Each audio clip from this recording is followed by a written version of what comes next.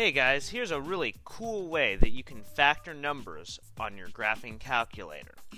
Let's say that I want to factor the number 280. Here's what I'm going to do. I'm going to press y equals, and then I'm going to enter in 280 divided by x.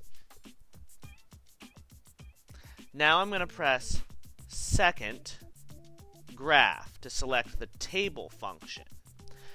Now, some of you might have noticed that the equation for y equals 280 divided by x is an inverse variation equation. But if you look at these values more closely in the table of values, you also notice that these are all factors of 280.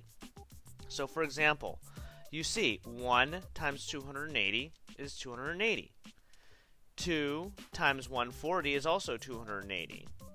Now, 3 times 93.3 repeating is all those are also factors of 280, although 93.3 repeating is not an integer.